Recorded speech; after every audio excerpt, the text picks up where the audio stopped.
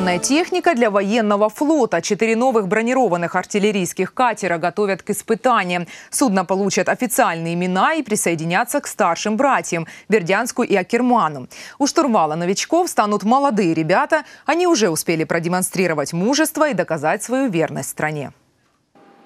Богдан Небылица окончил морскую академию лишь в прошлом году, но уже успел совершить поступок, достойный героя. Он один из тех, кто выступил против захвата родного вуза в Крыму Россией. Во время смены флагов Богдан и его товарищи громко запели родной для них гимн. Душу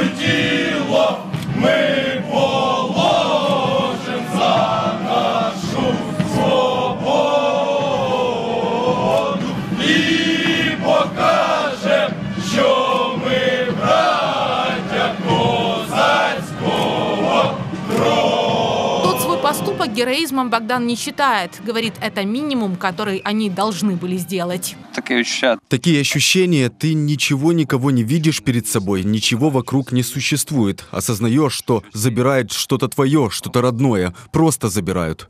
Из класса Богдана обучение под российским флагом продолжил только один. Остальные переехали в Одессу. Здесь из курсантов выросли в лейтенантов. Несмотря на пока что небогатый опыт, в их мужестве и верности сомневаться уже не приходится. Неудивительно, что два из четырех новых катеров возглавили именно эти ребята. Це перша самостійна посада. Это моя первая самостоятельная должность, первая командирская должность. Переживаю, конечно, но команда у меня хорошая. Главное, каждый по своему желанию. Все хотят учиться и развиваться. Команды у катеров небольшие, по пять человек. Во главе каждой офицеры нового поколения. Я служив До этого я служил на ракетном катере «Прилуки» и на корабле управления «Славутич» еще в Севастополе в 2012 году. Техника на этом катере, конечно, намного современнее, чем на тех кораблях, которые были в Севастополе.